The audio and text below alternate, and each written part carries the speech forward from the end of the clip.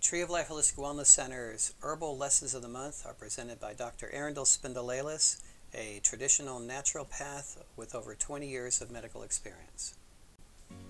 Welcome to Tree of Life Holistic Wellness Center's Herb of the Month lesson. We've decided to start doing a video series to help everyone out there kind of get their feet wet in herbal education and about a lot of herbal medications that you can use at home to help yourself. Now, again, full disclosure, this is meant for educational purposes only, and we are recommending that you continue to see your doctor and discuss with them these protocols if you would like to add them to your to your daily routine. So today is the first episode of uh, herbal monthly herbal lesson. So what are we going to talk about today? We're going to talk about one of my absolute favorite herbs. It is a miracle herb. It's something that we all can have access to just about every day in our home, and that is cayenne. The Latin name is Capsicum annuum. I think just about everybody, at least most of the industrial nations around the world, know about cayenne. Most think that, oh, that's a very, very hot herb and it's so harmful, it hurts my stomach. But let's go ahead over just a few of the medical uses of cayenne. First of all, to put everyone at ease, cayenne is the medical term for it is a rubefacient. What that means is that wherever it touches, it brings blood to that region. And that means wherever it touches, both internal and external, that if blood comes to that area, along with it comes uh, nutrients, oxygen, uh, medications, and such, so it helps bring healing to that area more quickly. Now, one of the beauties about cayenne is that it does not cause, no matter how much you might think you're in the fires of Hades, it does not cause any tissue damage. It gets hot because the blood is brought to that region and the nerves are stimulated, but it actually causes no damage. For example, garlic, an amazing herb, and we'll talk about that in the future.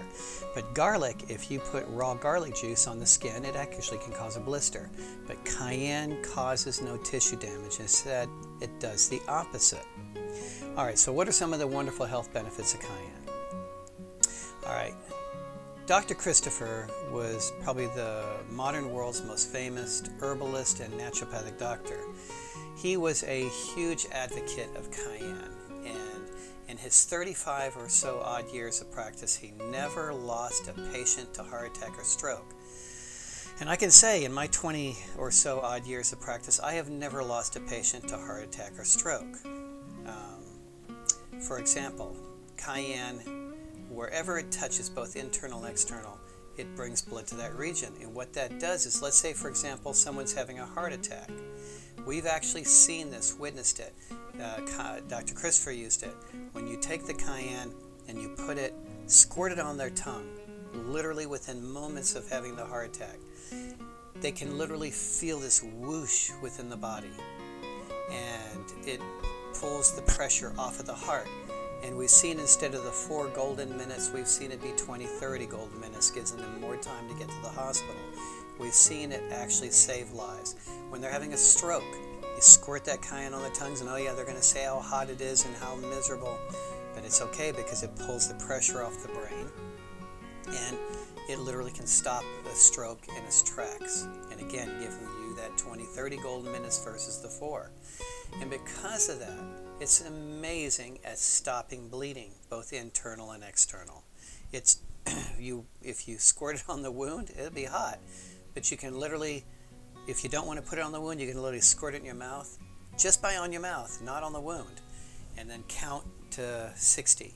And by the time you get to 60, in almost every single case, every case I've ever seen, the bleeding stops.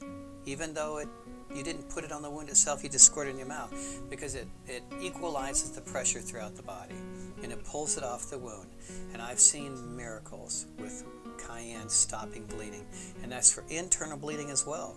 We've seen it stop uh, bleeding from stomach ulcers and various internal uh, bleeding in other areas of the body, and it literally can stop or slow the bleeding and can save lives.